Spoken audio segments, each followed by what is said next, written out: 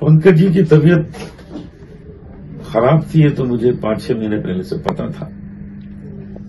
میں لوگوں کو بتاتا نہیں تھا، لیکن مجھے معلوم تھا کہ ان کی طبیعت ٹھیک نہیں ہے۔ کیونکہ یہ روگ کسی کو چھوڑتا نہیں ہے۔ لیکن اتنی جلدی یہ ہو جائے گا، یہ وشواس نہیں تھا۔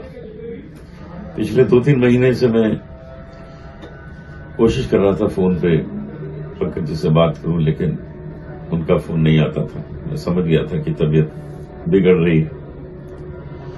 ان کی بیٹی نایاب سے میں بات کرتا رہتا تھا۔ لوگوں نے پنکج داس کو کھویا ہے، ایک اچھے گرل سنگر کو کھویا ہے۔ کھویا ہے، میں نے تو اپنا یار کھویا ہے۔ ہماری یاری تھی۔ ہر چیز پہ ہم لوگ بیٹھ کے ڈسکس کرتے تھے، باتیں کرتے تھے۔ میں پنکج اور تلت، ہم تینوں ہماری تکڑی بڑی مشہور تھی کہ تینوں خوب پیار سے، محبت سے رہتے ہیں، مزے کرتے ہیں۔ خوب ہم لوگ کانسرٹ کیا کرتے تھے ساتھ میں۔ مجھے پنکج جی کے جانے کا بہت افسوس ہے۔ بہت بڑا کنٹریبیوشن ہے ان کا۔ جو غزل کو گھر گھر پہنچانا، آسان کر کے لوگوں تک دل میں بس جانا، بہت بڑا کنٹریبیوشن ہے۔ اس کو بھلایا نہیں جا سکے گا۔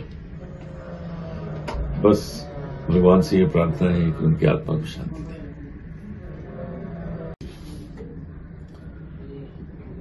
پنکج جی کی طبیعت خراب تھی یہ تو مجھے پانچ چھ مہینے پہلے سے پتا تھا۔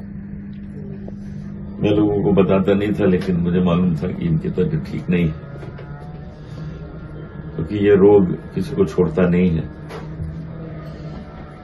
لیکن اتنی جلدی یہ ہو جائے گا، یہ وشواس نہیں تھا۔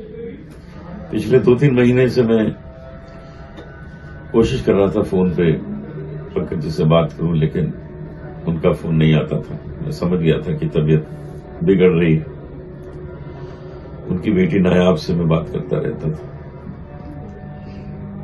لوگوں نے پنکج داس کو کھویا ہے، ایک اچھے گرل سنگر کو چھویا ہے۔ کھویا ہے، میں نے تو اپنا یار کھویا ہے۔ ہماری یاری تھی۔ ہر چیز پہ ہم لوگ بیٹھ کے ڈسکس کرتے تھے، باتیں کرتے تھے۔ میں پنکج اور تلت، ہم تینوں، ہماری تکڑی بڑی مشہور تھی کہ تینوں خوب پیار سے، محبت سے رہتے ہیں، مزے کرتے ہیں۔ خوب ہم لوگ کانسرٹ کیا کرتے تھے ساتھ میں۔ مجھے پنکج جی کے جانے کا بہت افسوس ہے۔ بہت بڑا کنٹریبیوشن ہے ان کا۔ جو غزل کو گھر گھر پہنچانا آسان کر کے لوگوں تک دل میں بس جانا بہت بڑا کنٹریبیوشن ہے۔ اس کو بھلایا نہیں جا سکے گا۔